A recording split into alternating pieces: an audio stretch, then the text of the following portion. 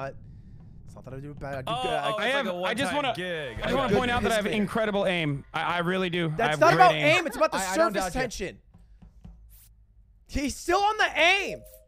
He can't even fucking call reactor right. He's still talking about aim.